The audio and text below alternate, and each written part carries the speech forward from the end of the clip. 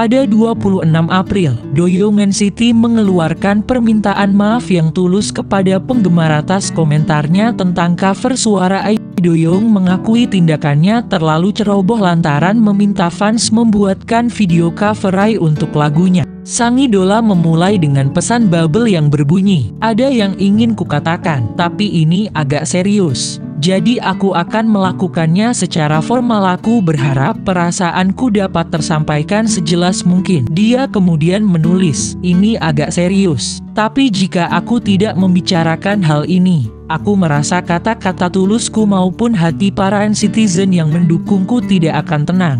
Jadi aku akan menulis beberapa kata. Saat mengobrol dengan NCT di Melon, Aku sangat tersentuh setelah mendengarkan beginning milik Sonu Jonga. Aku berkata, aku ingin mendengarkan musikku sendiri yang dinyanyikan oleh banyak penyanyi dengan suara yang kusukai. Namun, aku pikir aku melakukan kesalahan karena pemikiranku yang dangkal.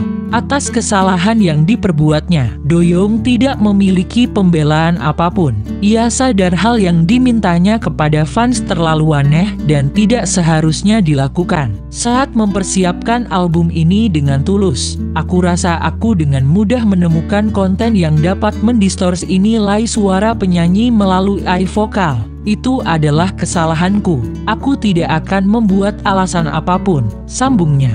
Tak lupa Doyong juga meminta maaf kepada senior yang namanya telah terseret. Untuk ke depannya, Doyong berjanji akan bersikap lebih baik lagi. Aku dengan tulus meminta maaf kepada semua senior yang kusebutkan namanya, dan juga kepada semua orang yang mencintai semua penyanyi yang kusebutkan. Aku ingin meminta maaf kepada para penggemar yang mendukungku atas perilaku yang tidak pantas, dan juga meminta maaf karena telah menciptakan situasi seperti itu.